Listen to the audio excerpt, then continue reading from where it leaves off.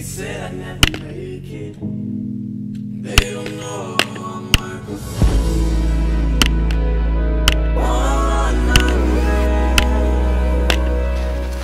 Okay guys, so on this rather snowy day as you guys can see, I decided to mix it up a little bit and actually stand for this one because I thought it was a little bit more fitting for this particular kind of setup.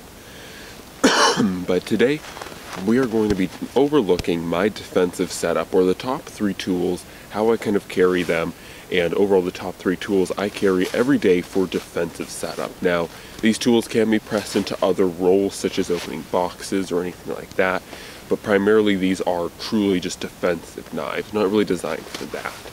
So without any further ado, as always guys, please do not forget to comment, like, share, and subscribe so you can see more awesome Alaskan content like this.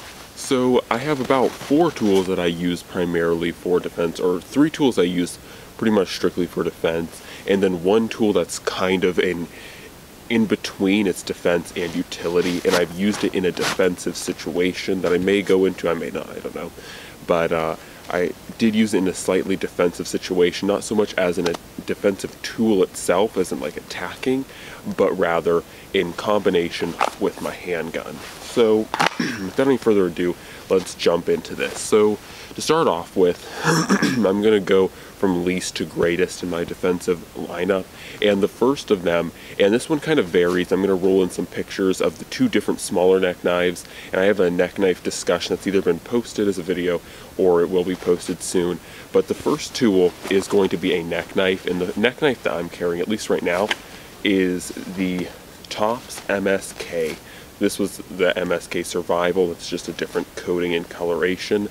But this is my first, and or well, rather last. This is kind of my backup defensive tool.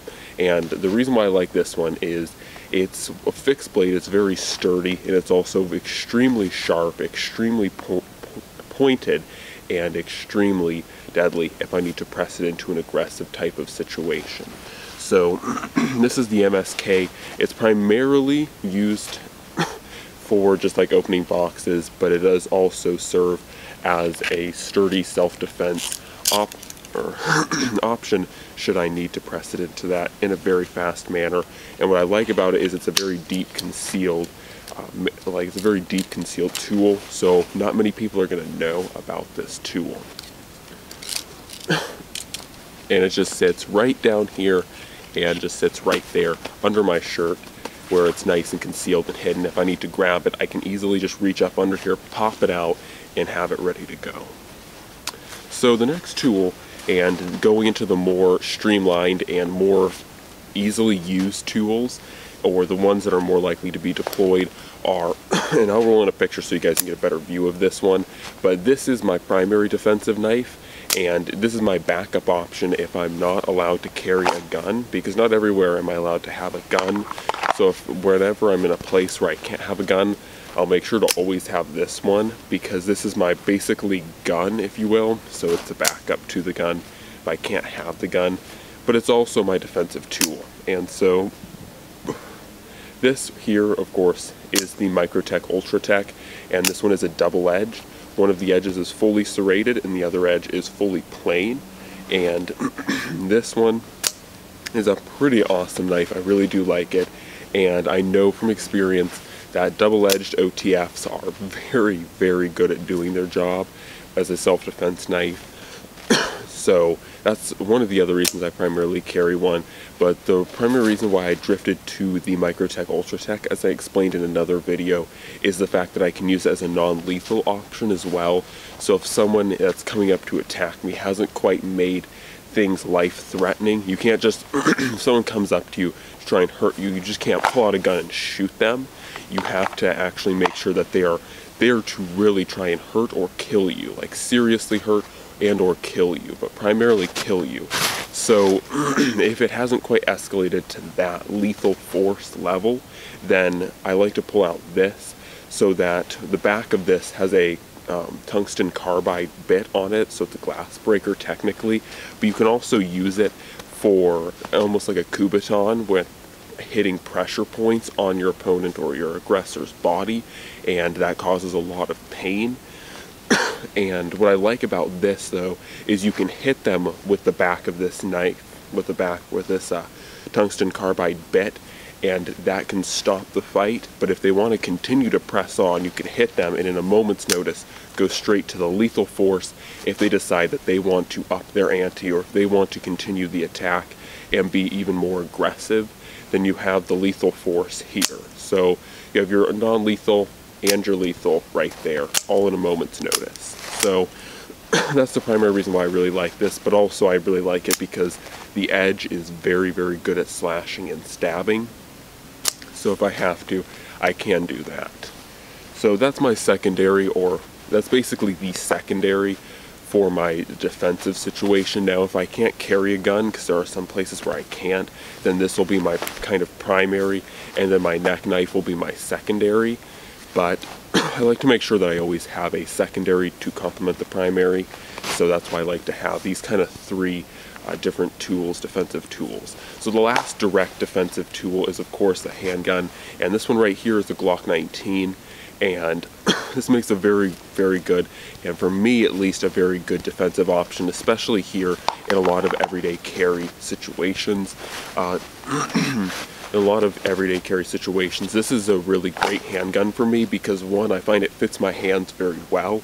It's balanced very well for me, and it's also a very tough, sturdy, and reliable handgun. And so I, I do note that the 9 mil isn't the best caliber out there in the world, but it does work good enough for everyday carry situations. Once again, this isn't likely to be running up on bears or uh, wolves or anything like that, but this can stop moose, wolves, and that type of thing. Not quite bears, but it can if it absolutely has to be pressed into a wilderness gun. It can perform, but it just won't perform very well. So next to this, to complement the handgun, I do also have two mags on this side. So I have two fully loaded magazines on this side of me. So if I need to uh, do mag changes, I have two extra magazines just right there. And for me, once again, I got used to carrying a lot of weight on my belt. Some people aren't as used to that. But for me, carrying these two extra magazines, it doesn't really weigh me down or noticeable. It's for me, kind of just all blends in, and I'm not really like, man, this is just so heavy. for some people, they may be like that. And once again, to everyone's own style, everyone's own kind of setup in particular. But this is just mine, and like I said, I carry these two here, and that's one, and the other one's right behind it. So that's where I carry two extra mags, so altogether I'm carrying three mags plus one in the chamber, which equals 46 rounds. That's quite a bit. But anyways, now let's take a look at the last kind of defensive, complementary slash defensive item. And that is actually my flashlight. And I can grab this with my offhand really easily. I like to keep it in this very neutral spot on me so that I can just grab it very easily as I fail to grab it. I can grab it very easily with this hand at the same time draw my handgun like this and set it up however I need to. I can put it into a strobe or I can just put it into straight light. Once again, I have had to draw this flashlight with the handgun in pitch black situations before.